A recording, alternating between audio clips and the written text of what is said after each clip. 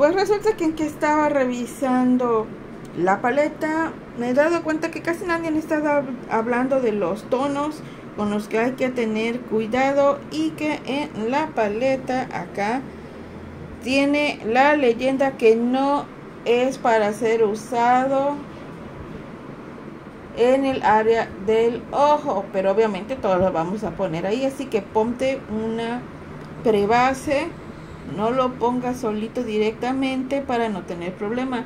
Y en la primera fila el tono platino es con el que hay que tener cuidado. De la segunda fila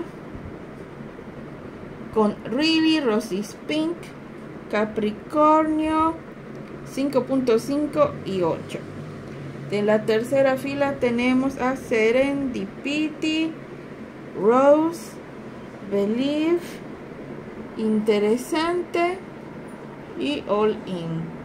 De la cuarta fila tenemos a Round 2, Fab y Extra. Y de la última fila tenemos a My Boys, Random, Unexpected, Expensive. Esos son los tonos con los que hay que tener cuidado, sobre todo si tus ojos son sensibles a los ingredientes de las fórmulas que vienen en esta paleta.